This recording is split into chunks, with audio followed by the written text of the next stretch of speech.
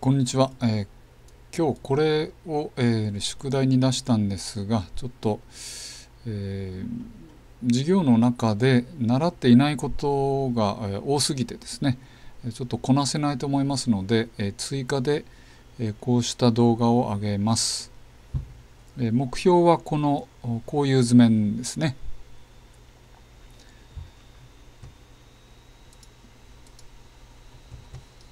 えー、上面図、えー、から描きますので、えー、ビューキューブの上を、えー、押してください、えー、そして、えー、スケッチですねの、えー、線分を選択してください、えー、そうすると当然、えー、スケッチ平面のを指定するように言われますので、えー、真正面にある、えー、正方形を押します、えー、そうすると上から、えー、図面を描いていることになります。え左下が原点ですので、え少し左下の方に、え動かして、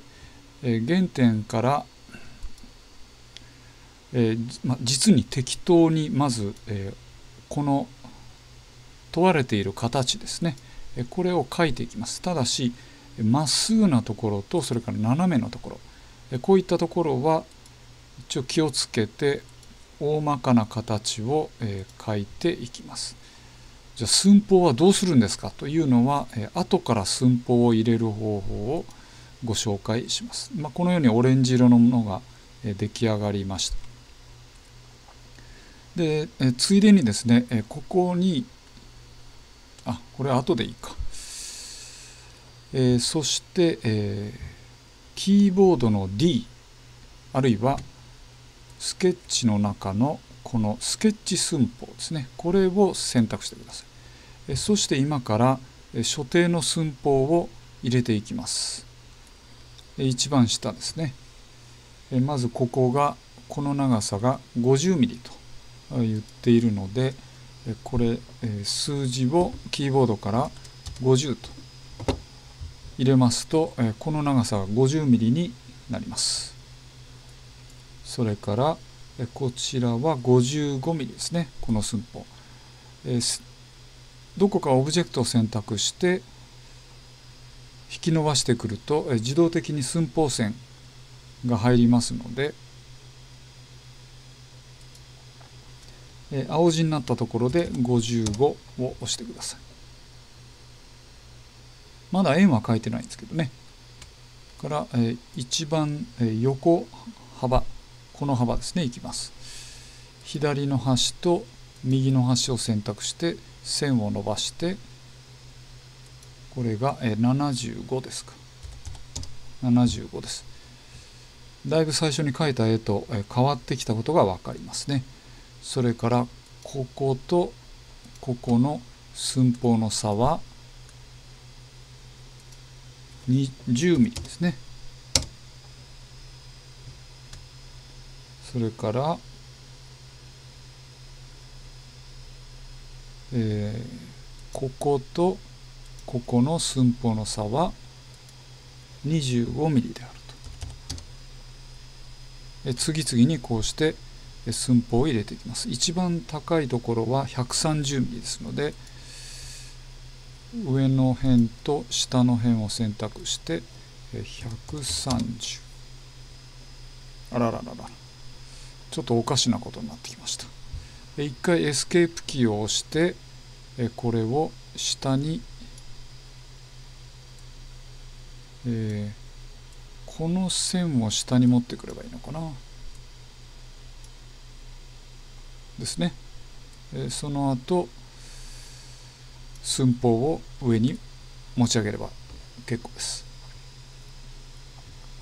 そしてもう一回、えー、D を押して、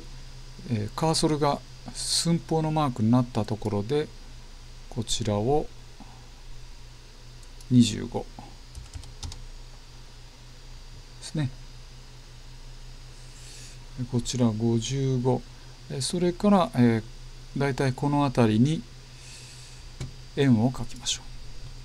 う。円中心と、えー、直径で指定した円ですね。でまあ適当なところに円を書いて直径は32です。で、エンターを押して確定します。でもう一回スケッチスケッチ寸法この辺と円の中心を選んで線を引き伸ばしてきて25辺と中心を選んで引き伸ばしてきて25それからここが120度になってますね。この角度もこのまま、自動的に角度の、モードに変わりますので選択をしてみましょう。この辺とこの辺を選択すると自動的に角度寸法を設定するモードになりますのでここでクリックして青字の時に120度。それからここが20度っていう視点になってるんですけれども、えー、ここを20度にするのはちょっと辛いので、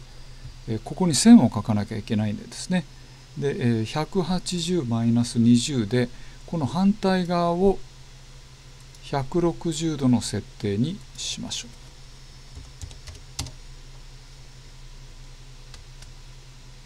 そう自動的にここが120度になってるはずです。それからここがここに R が取ってあるんですけれどもこれはフィレットというコマンドで作ることができます。こことここ2つ選択をしてえ、青字の時に16ですね。R16 です。だからこちらの方も、え、ももう一回、え、スケッチフィレット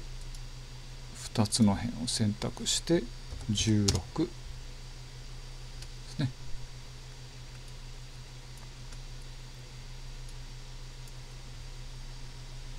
これでえー、っとできてますねこれで、えー、